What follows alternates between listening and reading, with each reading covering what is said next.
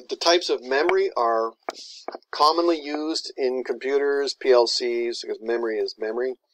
ROM is read-only memory. This is uh, a type of chip that's used to store code or programs that when a device first gets powered up, it goes into this chip and the program is there for it. You can only write into memory once and you use what is called a burner. So it actually burns in each memory location, whether it's a 1 or a 0, and it's permanent. You can't erase it, but it doesn't lose lose any of the data if the power fails. That's why it's used for starting up devices. PLCs would have ROM in them. That's when you turn the power on, it goes in and starts running the pro the code. It boots off that ROM and gets the gets the processor working. Variations on that are EPROMs or EEPROMs, erasable programmable read-only memory, or electrically erasable. That's just two different methods that you can rewrite them. EPROMs, you need a burner, so you would pull the EPROM out of the board. For example, again, this picture here shows an EPROM in a socket like this. So you would pull it out, put it into a burner, rewrite the code, and put it back in the socket, and then boot your device again. Electrically erasable, you can do it in place. Computers now all have EEPROMs for the most part because you can download a firmware update or a BIOS update for your computer. And then there's a special procedure it uses to write into that chip. And the beauty of it is that, that it still saves all your data once the power fails. So it's safe. Um, they're not very fast. It's a slow process to rewrite them, especially if you have to pull the chip out and put it into a burner. But it's very safe. Then we get to RAM, random access memory. This is your general computer memory. Read write, it's kind of like a chalkboard. So here, here's RAM, comes in sticks, SIMMs, DIMMs, single inline memory module, double inline memory module, DIPs. Um, DIPs are the old dual inline chip like that. No one uses those anymore. So various configurations. RAM versus ROM. And there, that's a DIP, dual inline package. So there's a single inline package and all different physical types of memory. Um, it's fast. You can read and write to it as many times as you want, but if you lose power, everything's erased. So it's temporary. But it's quick. NVRAM is non-volatile RAM. That's what PLCs use it's a type of RAM that that if you lose the power, your data is still there. And that's why you can take a PLC, write your program into it, and get it running with a machine. And if there's a power failure, the power goes out, the power comes back on, your program is still stored in that RAM. So it starts to run. And, and we have to have that in industry because you couldn't go out and reprogram every PLC every time there was a glitch in the power. So it is expensive, so they only use it when they have to, and that's why PLCs don't have huge amounts of memory, partly because you don't need huge amounts. You're not you're not handling graphics. It's graphics that really chew up the memory, and you're not loading a lot of different programs. So going beyond that, the, NVRAM in our PLC keeps your program safe anytime you get failure. So a quick review on binary basics. A bit is a single memory location. We are working with bits. When we look at an input module, there's 16 screw terminals, 16 inputs. Each one is a single bit. Put 8 bits together, you get a byte. Put 16 bits together and you get a word. This is the definition. Or two bytes together make a 16-bit word. And 16 bits allows us to store a big number in there. A number between 0 and actually about 64,000, but we only use 15 of those 16 bits for the data in the PLC. The 16th one is used for the, the, um, the polarity, positive or negative.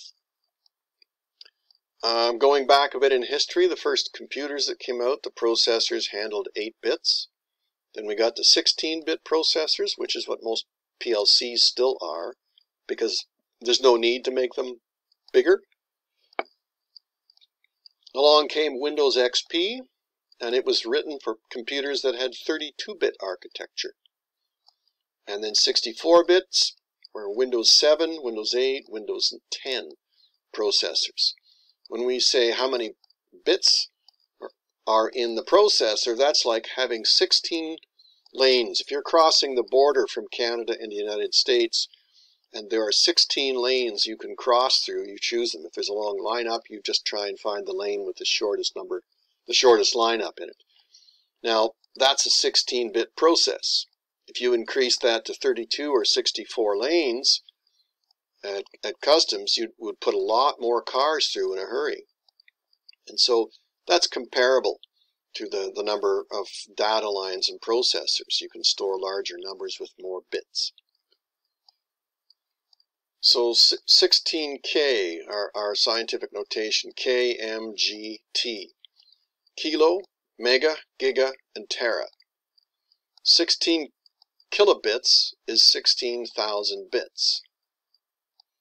Normally, if we're saying kilobits, that's referring to how fast we can send data across a wire. 16 kilobits a second, 100 kilobits a second, 1 megabits, which would be 1 mil million bits per second transmitted through your Ethernet wire.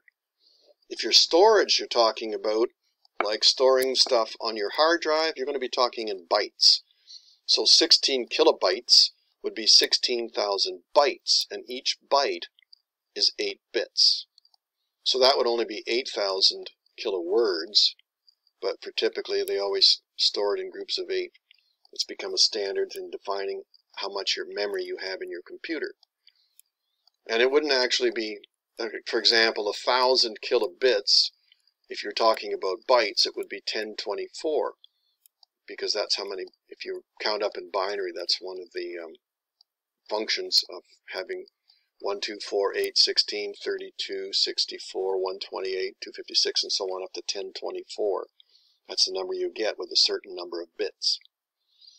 Megabytes, million, gigabytes, billions, terabytes is a billion times a thousand more. So getting some very large numbers there. So each bit's value, if you're dealing with binary, is the number 2 to the to the power or exponent n. Actually, I should write that differently to get it corrected.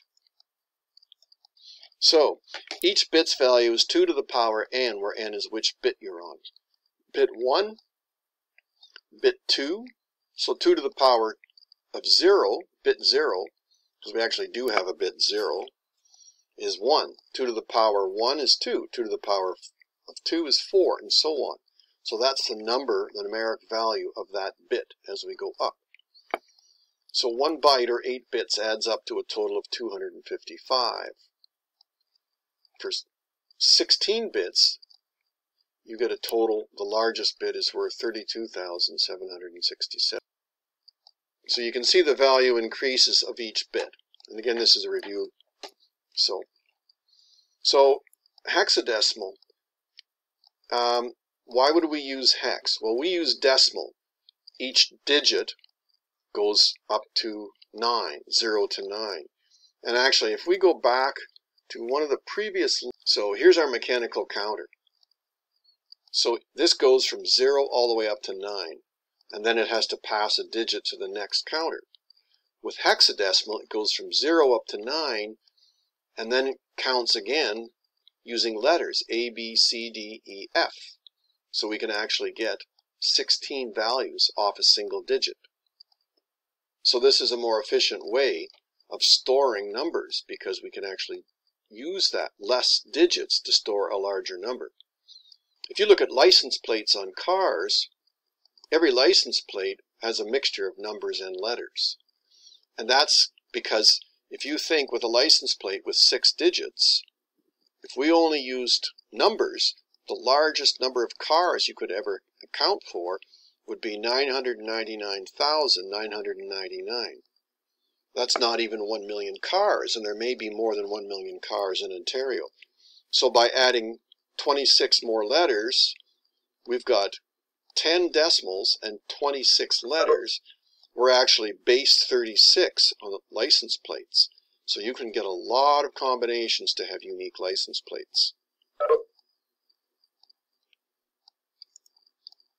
So that's what hex is. We can go from 0 to 15 on a single digit.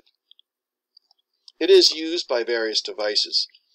Um, you'll see hex counters. By BCDs probably more commonly, but uh, it does work.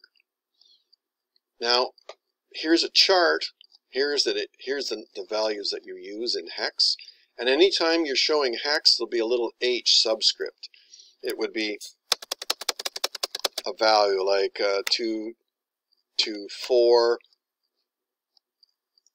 Um, let me just 224 and there would be a lowercase h in there.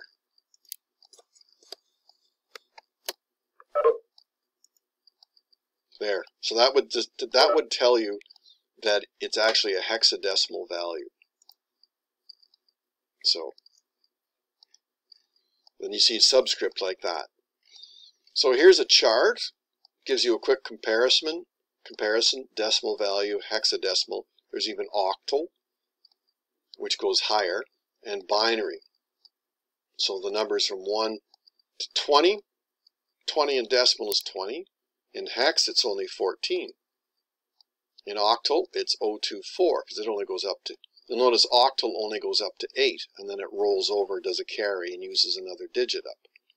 So it's not a very, not even as efficient as decimal. And then there's our binary values as well. So that's a nice little chart. If you ever need to convert, there are many online conversion sites where you just punch in your number in decimal. It'll give it out to you in hex, BCD, binary, or whatever you need.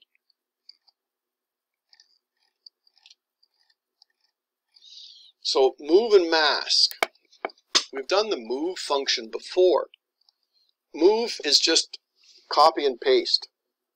It takes six, all 16 bits from an address, copies them, pastes them in another memory location. So it's very simple. Now, moving with a mask, what a mask does is that zeroes out the bits that you don't want to use or, or don't want to look at.